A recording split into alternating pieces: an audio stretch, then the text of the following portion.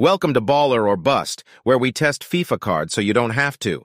Today we've got this squad with shapeshifters Martial.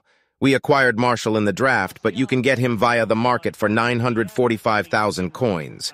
Shadow Chem style to boost his pace up to max because he's just controlled, felt quick enough in game. Shooting-wise, he was actually pretty good cause of five-star weak foot and having both finesse shot and outside the foot shot. He's got great long shots as well.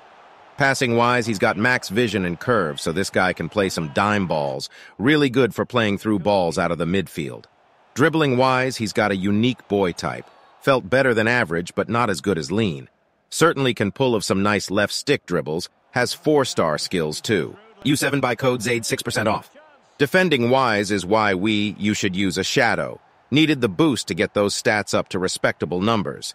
Can hold his own defensively, but certainly shouldn't be your most defensive midfielder. Physicality is great. He's got almost max strength. Overall, this card is quality. Perfect fit to be the attacking CM in a 4-3-2-1 because he can do a lot offensively in terms of creation and scoring, but can also come back and help out the more defensive midfielders when needed. Pretty balanced card overall.